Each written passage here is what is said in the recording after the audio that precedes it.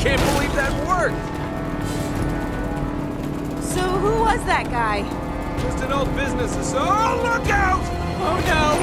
Hold on!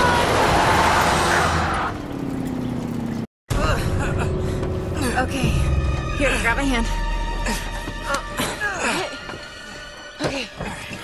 You okay? Yeah, I'm fine. Oh, but you're bleeding. Yeah, it goes with the territory. Let's get the hell out of here. Damn it. Come on. Going somewhere? Hey, Eddie.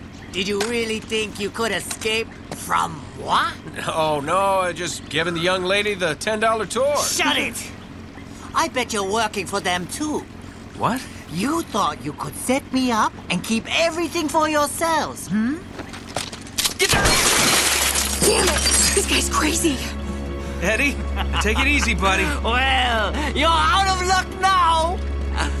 And out of road. Now, give me that map. Hold on. All right, you got me, fair and square. Hey, don't move. Relax, Eddie. Just getting the map like you asked.